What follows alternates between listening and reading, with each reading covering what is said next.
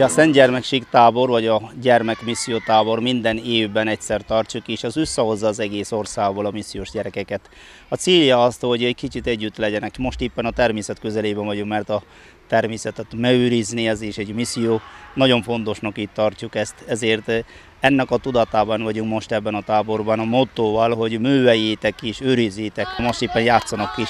Olyan neveket választottuk a csoportnak például, bazsalikon, menta, vagy éppen ilyen gyógynövényeknek a, a, a nevei, és ezek mind-mind hozzájárulnak, hogy azoknak a, a tudás növekedjenek. Őrizzük a teremtett világot, ennyivel őrizzük magunkat is. Ezeket a dolgokat átadjuk nekik kézzelfoghatóan, amennyire lehet. Ez a nyolcadik Szent Gyermekség tábor, Nagykovácsinban van megrendezve. Azért itt, mert ezt a helységet találta Sebastián atya és János a legmegfelelőbbnek és legalkalmasabbnak, mert az idei tábor a sportról szól, az egészségről szól, a földünknek a szeretetéről szól, és itt lehetőség van, hogy délelőtt, délután a gyerekek sportoljanak, játszanak, a testnek a fejlesztése, a fejlődése, az edzése ugyanúgy fontos a gyerekek számára, mint a lelki élet kellett egy egészségügyi felügyelet a táborba, aztán így mikor kiér rá a nővérek közül, az jön valaki, én most Istennek hála, egy harmadik éve vagyok velük, megszerettem őket, szeretek ide visszajönni, szeretek velük lenni. A gyerekek megjönnek, és egyszerűen szerintem önmaguk. Önmaguk lehetnek, azáltal, amit talán egész évben gyakorolnak, próbálják megélni a kis hitüket ott, ahol vannak, a családjukba, a hittanórákon, most igazából ezt a gyakorlatban bemutatják és akkor együtt vannak, játszanak, de mindezt megpróbálják ilyen keresztény szellembe, ami szép. Úgyhogy ezt gyakorolják itt, ezt látom éveken át, hogy ennek van egy folyamata. Az animátoroknak az a feladat, hogy a gyerekekkel együtt szurkoljanak, játszanak, vegyenek részt azokban a játékokban, amiben a gyerekek, és elmagyarázni a szabályokat, amit esetleg így elsőként nem értettek meg, fejleszteni a gyerekeket, figyelni velük, játszani velük, együtt élvezni a játékot. Minden táborban itt voltam a kezdetek óta. A programokat Sebastián atya szervezi, és most János idén mi a segítői vagyunk. Kis csoportok vannak, akik különböző helyről jöttek, és őket koordinálni, megismertetni a különböző helyről érkező gyerekeket. Ez is, ez is szerintem nagyon jó, hogy barátságok születnek. A nagyobbak között most már szerelem is, és tovább ápolják a kapcsolatot ezek a gyerekek. A pluszt a lelki dolgok adják. A közös sima, mindennapi közös szentmisén veszünk részt. Ez is érdekes számunkra, mi görögkatolikusok vagyunk, és a római katolikus liturgiát ismerjük meg, a római katolikusok pedig a görög katolikust, hogy azért ez a szertartásban különbség egyéb másban nem. A mieinknek például érdekes a gitáros mise, hát egy kicsit úgy hívjuk, hogy bulis mise, de ez nekünk más egy kicsit, ahogy a római katolikusoknak is a mi ritusunk szerinti liturgia. Drága Jézus,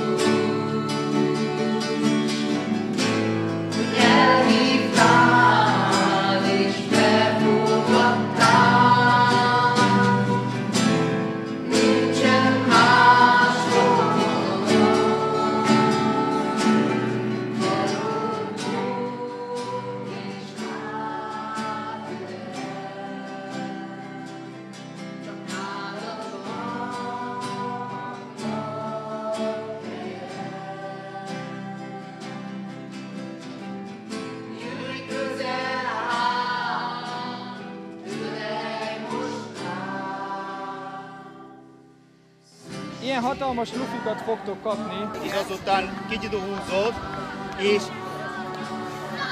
ennyi az egész. Nekem így sem megy. Jó, ez marad így.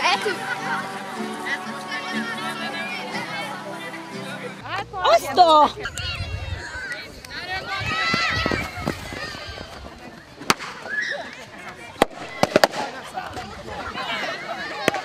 specialitása is van ennek a mostani tábornak.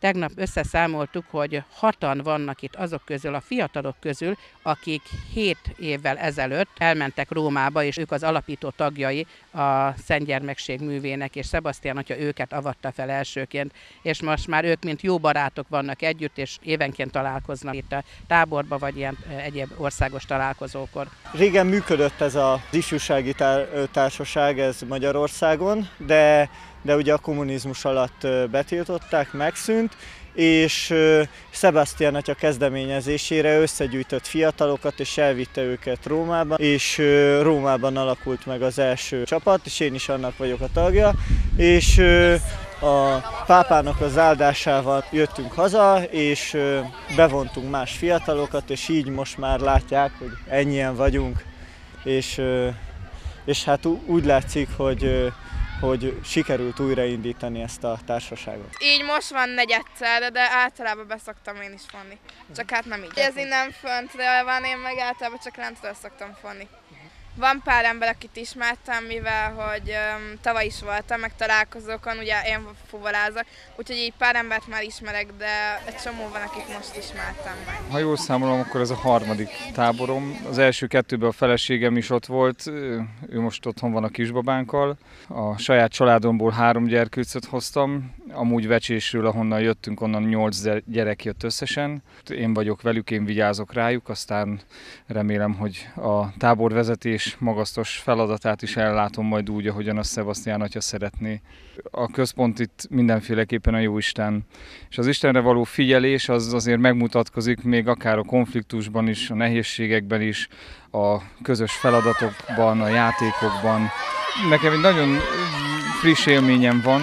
Most a délelőtt folyamán, amikor a görög, katolikus szent liturgián voltunk, az egyik fiút láttam az áldozás után visszafelé jönni, és egy kicsit furának éreztem, de aztán rájöttem, hogy, hogy, hogy nagyon jól mutatta azt, hogy, hogy olyan áhítatos volt ez az egész légkör. És úgy gondolom, hogy ez, ez végig vezethető, végig látható ezeken a gyerekeken, akár itt a táborban, vagy, vagy gondolom az otthoni életükben is, hogy, hogy ők egy kicsit a Jóistennek a közelségében élve sok mindenről másképpen vélekednek, másképp látják a világot. Tehát úgy érzem, hogy a, az értékrend az mindenféleképpen alakul, és ebben megmutatkozik az, hogy a Jóisten sokkal közelebb van hozzájuk vallás felé nyitottak a fiatalok, és nyitott mindenki, én úgy érzem, ha ezt a vallást szeretetként éljük meg. Mert igazából ők a szeretet felé nyitottak. A mi vallásunk viszont, a mi törvényünk a szeretet parancsa, amit Jézus hagyott ránk, és erre a szeretetre mindenki nyitott. Mindenki szereti, mindenki vágyakozik utána, úgyhogy azt hiszem, hogy ilyen téren ez nem gond, ha tényleg megéljük, vagy próbáljuk átadni a szeretetet.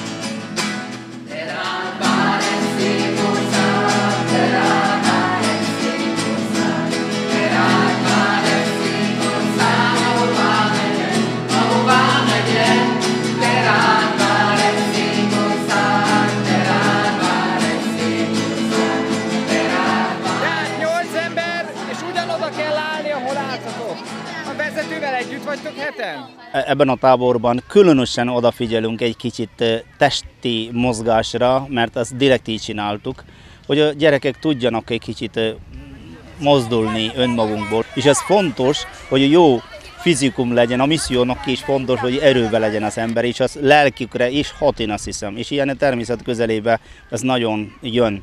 És ebbe táborban pontosan erre koncentrálunk. Ezen kívül az nem azt jelenti, hogy általán nincsen lelki táplálék, éppen volt szemmise.